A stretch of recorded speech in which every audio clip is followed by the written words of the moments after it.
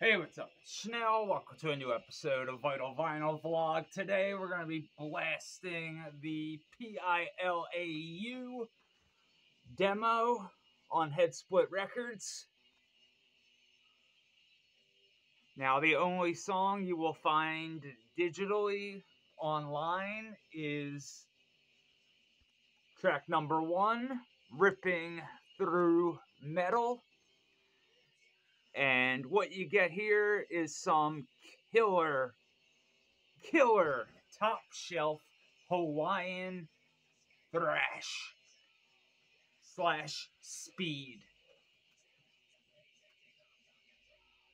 This is getting a cassette release, which I'm extremely stoked on, but this is my number one at the moment go to car release when it comes to uh, listening. And here, thrash metal forged from the volcanic lava fields of Maui, Hawaii. I'm very curious also as to what P I L A U stands for.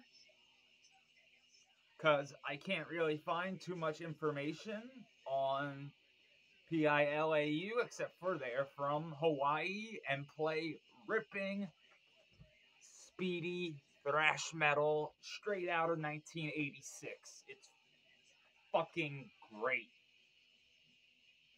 And I think that's awesome that, you know, Head Split went out of their way to add a little something that's normally reserved for vinyl. Thrash metal forged from the volcanic fields of Maui, Hawaii. That's fucking sick. So, yeah, Head Split killing it with CD cosmetics. Wow. And this is HSR 348. And when it comes to a demo, this is all you need.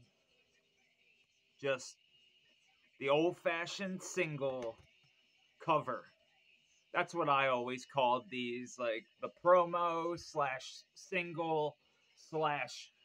Sometimes you would get like one of those late, like those label compilations in these type of uh, like CD slip cases. Which again, if you are a new band and you're looking to save a couple bucks, I'm not sure what's more expensive, but like jewel cases can be, uh, you know, a little, especially if you do inter- international shipping.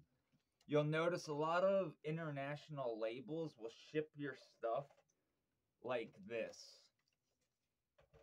Like I, I don't I honestly don't even know what this is. I won like some contest and they sent this over. I'm guessing it's some sort of brutal death metal. Although the cover kind of suggests otherwise. I don't really know. But uh yeah, you know. Like sometimes you'll order an official release like um the European pharmacist CDs from uh, Bizarre Leprous Productions. Um, like we had to build these ourselves and stuff, and uh, you know, luckily we had our own jewel cases at the time and whatnot. But uh, yeah, you know, that's always a good route to go. Like especially if you're doing international shipping, because this cuts down on the weight massively. And then there's this option. But I have a tiny complaint about these types of digipacks. Do not leave them in a car. Like, these are not very car friendly. It's definitely a bummer when something you know is like impossible to get another copy of gets cosmetically trashed. And from the car, this is why I don't really like car car stereos. See all those scratches? That's from sliding in and out of the car. These things happen though, but it's one of the reasons I like honestly after my last collection, I kind of stopped fucking with CDs. But since I've been using the car so much lately, like trust me, this Immortal Suffering also gets tons of plays. Horns and Hooves is in the car, as always. Same with uh Scum Slot. I mean uh I not I didn't mean to say Scum Slot. I meant um yeah, Scum Slot. Yeah, my bad. I was for some reason I was thinking Slaughter Cult, but that's an exhumed record. But um another great option is the you know, again, if you're trying to save some money here with international shipping, these types of digipacks are great. They're also great for some cool cosmetic stuff like that. But these do ding up and bend and, you know, whatnot very easily again. If you listen to your CDs in the car a lot, I suggest getting a CD book. And I know I've said before, fuck CD books, like, because I had that 500 plus one get stolen, and I was just left with 500 empty cases. Like, I mean, around 500 empty cases. Some of them were CDRs, and I learned, you know, and I kind of learned this really weird way. Like, I would buy like a CD and then rip it onto the computer, burn a copy of the CD, and if I got the CD from Best Buy, and it wasn't something that I was really super impressed with, I would bring it back and say, This doesn't play on my car stereo. And would get either my money back or, uh, what was it? Store credit. Kind of grimy, yeah, but it was fucking Best Buy. I didn't care. But, uh, yeah, when it came to like, you know, brick and mortar record stores, completely different. Like you never should take advantage of your local brick and mortar record store. But it's fucking Best Buy. Yeah, fuck yeah. I'm sorry. You ruined Radio Shack back in the day. So we got beef. Hooty hoo! And uh, what's it called too? Um what's that fucking place? Uh cuz Circuit City shut down as well and I always pointed my finger at Best Buy, but now Best Buy's on like the chopping block. But, anyways, you're not gonna find this at a brick and mortar record store unless it's in the Portland area, I'm guessing, and it's a pretty badass record store because if they're carrying any head split releases, chances are they know the underground and yeah, they probably have some killer stuff, but when it comes to the P I L A U demo, just top shelf speed slash thrash metal. I can't get over how good this is. It sounds like early Sodom meets like DRI like hazardous mutation error municipal waste meets toxic holocaust evil never dies error. Because then you kind of get that early sodom vibe mixed with the catchy riffing of hazardous mutation.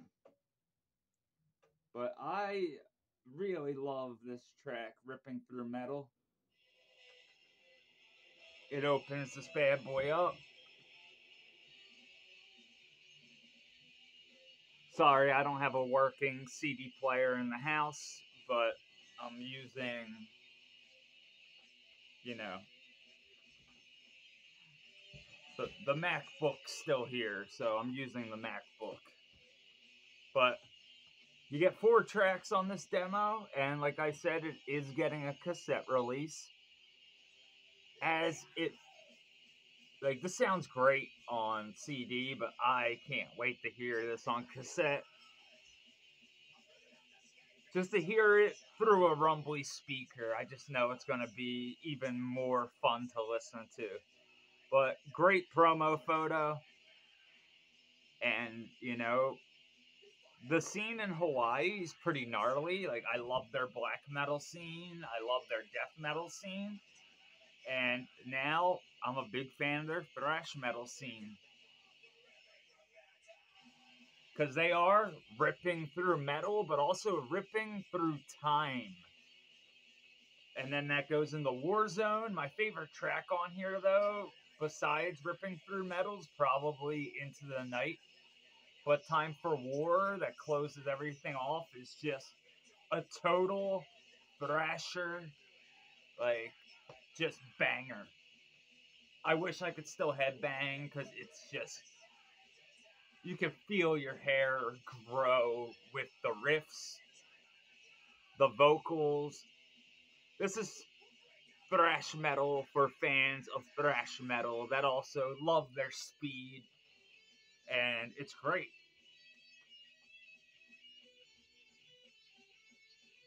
Like I love the bass tone. Everything about this is classic as it gets. And it's just done extremely well.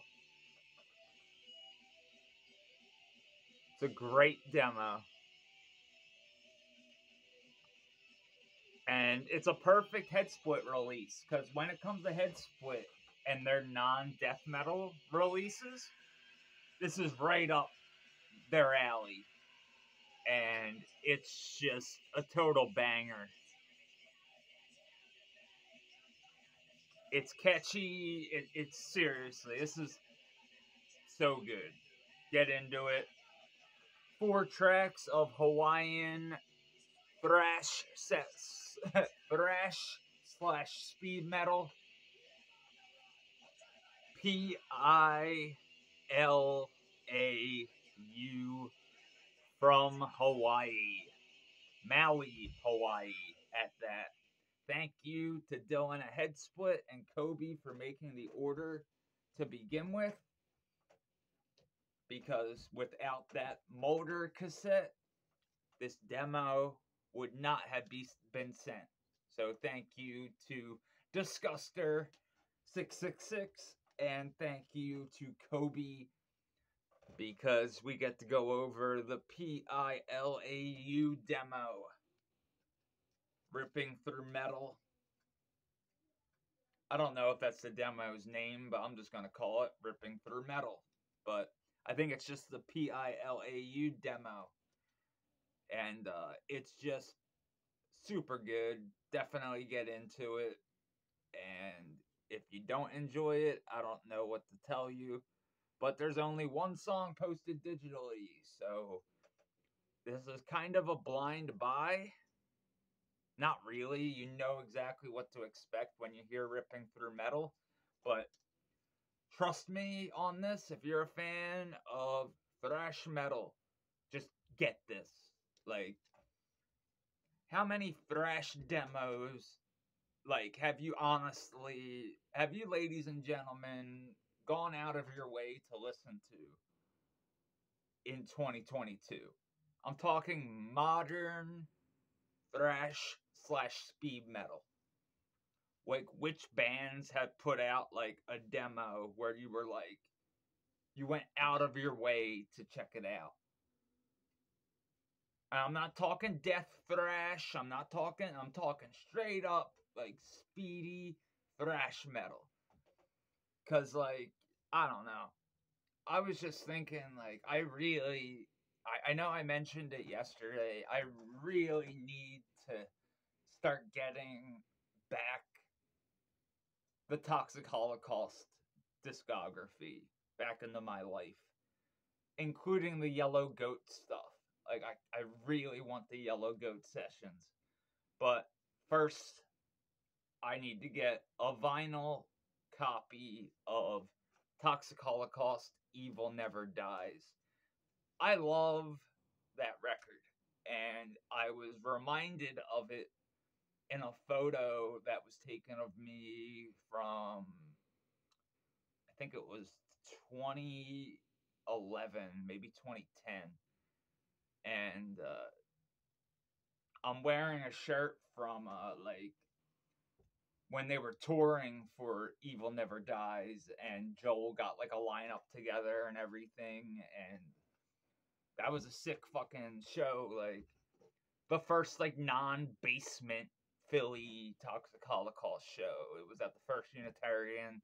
Like it was sick. It was a great fucking show. But yeah, it this release right here just got me like you know thinking about some of the uh, thrash metal I really used to be into, like obviously early destruction, early Sodom, your usual suspects.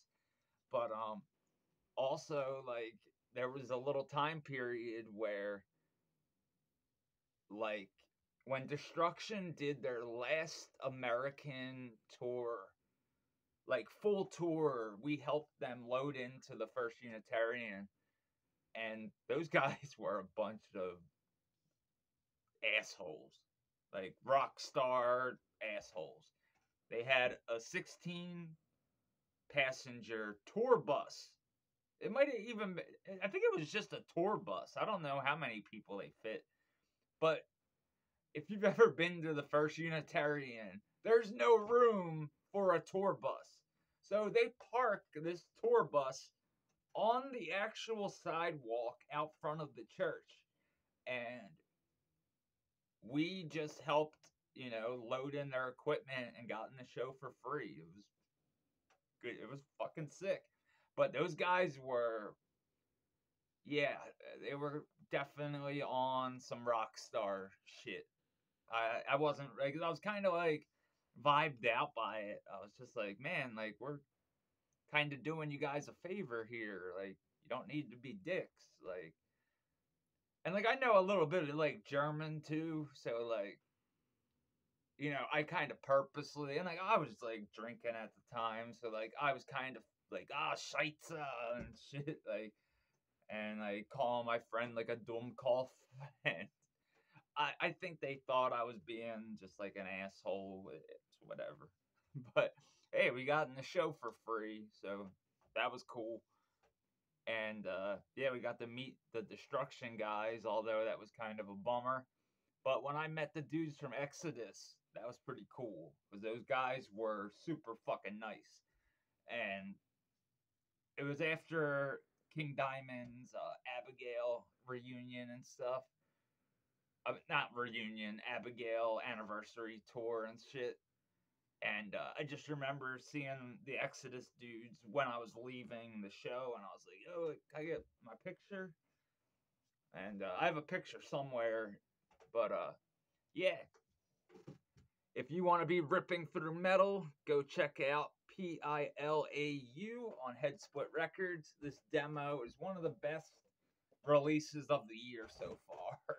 like it's that good. It's so fun to listen to. Like, especially if you have the new horns and hooves, like, throw on the new horns and hooves, then get Caligari's Scum Slot, and finish it up with some P I L A U, and you have yourself a filthy set of tunes to listen to.